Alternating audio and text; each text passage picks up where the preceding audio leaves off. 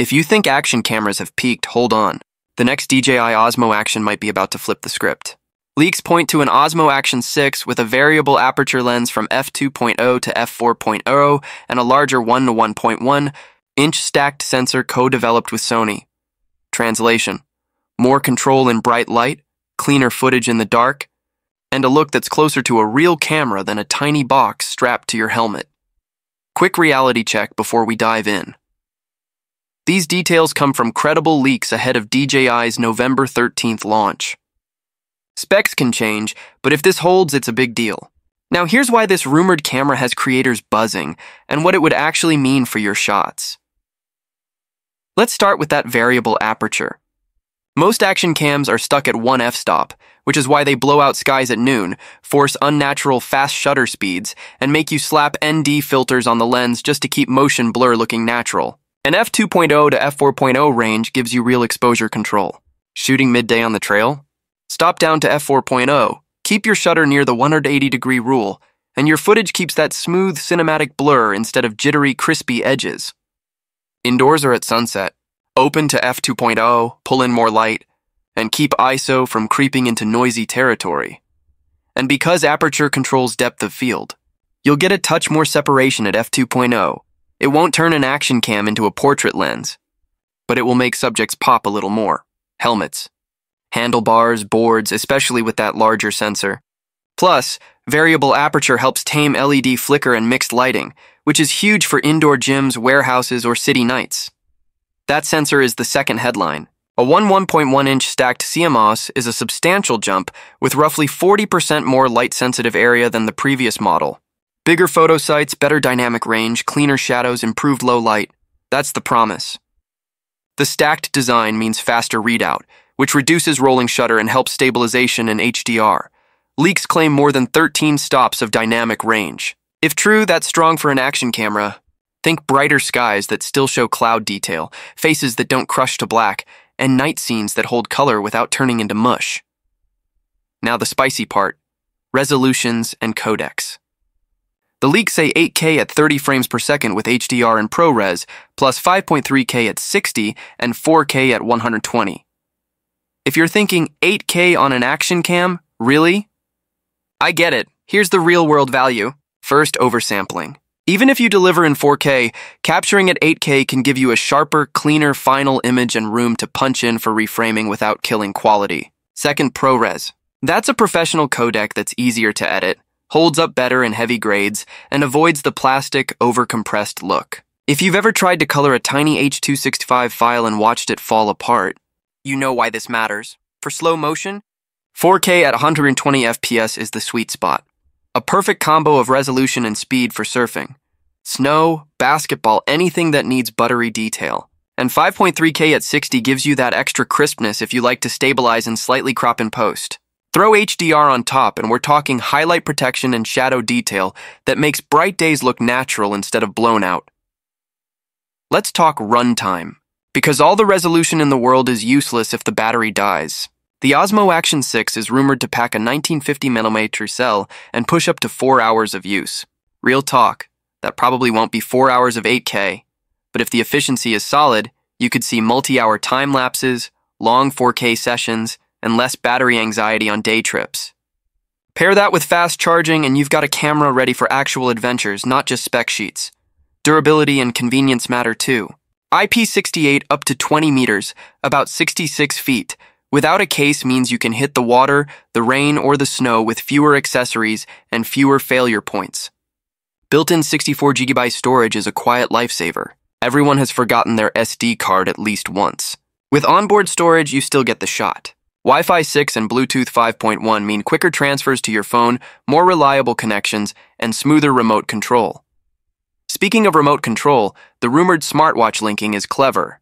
Imagine starting and stopping recording from your wrist, switching modes without touching the camera, and seeing live stats overlaid on your footage, heart rate on a run, calories burned on a ride, pace elevation. Fitness creators, this is your new data-rich storytelling tool. No more messy post-production overlays. No more third-party hacks. Just record and go.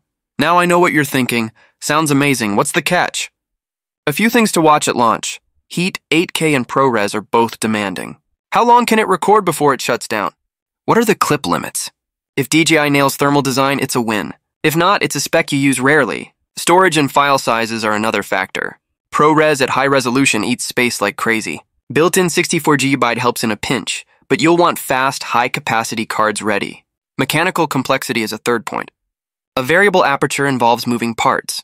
DJI builds solid gear, but durability under vibration, sand, salt, and freezing temps will be the real test.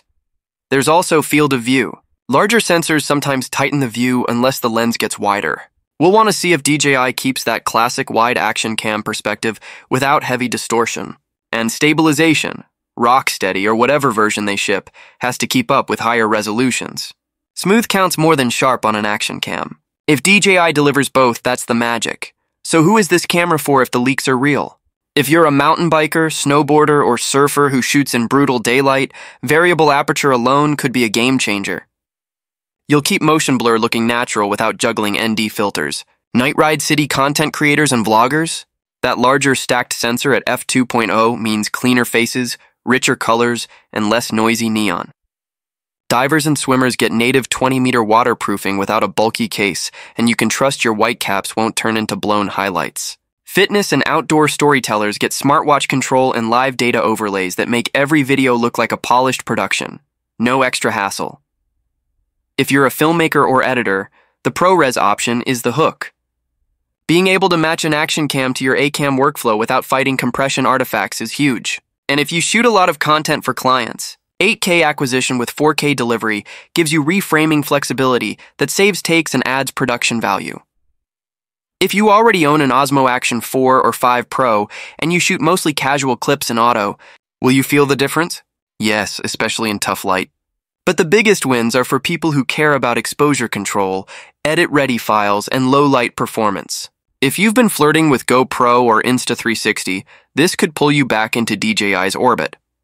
Let's be honest, the most important question is how this thing feels in the hand and in the timeline.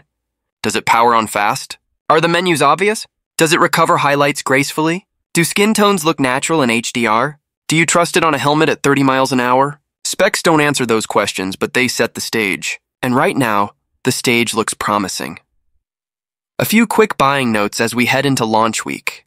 If you need a camera today for a trip tomorrow, grab what's available and go shoot. No camera makes memories for you. But if you can wait until November 13th, do it. Watch for official confirmation of sensor size, aperture range, exact dynamic range, stabilization performance, and heat limits at 8K and ProRes. Check whether the built-in storage is fast enough for the top modes or if some features require a V90 card. Look for real-world battery tests in cold and heat, and confirm whether the smartwatch features work with the watch you already own. If everything checks out, this might be the first action cam in a while that feels like more than a yearly refresh. Variable aperture for creative control, a larger stacked sensor for cleaner, richer footage, 8K HDR and ProRes for post-production power, real waterproofing, built-in storage for emergencies, and wrist control for athletes and creators who hate stopping the flow. This is the right kind of upgrade. What do you want to see tested on launch day? Heat and clip limits at 8K? Low light noise at f2.0? Highlight roll off at noon? Smartwatch overlay accuracy? Drop your wish list because that's what I'm checking first. And if you're excited to see what DJI actually announces on November 13th, stick around. I'll be breaking it down with real footage, not just leaks. Until then, keep your shutter steady, your horizon level, and your stories rolling. If these rumors hold, the Osmo Action 6 won't just capture your adventures, it might finally do them justice.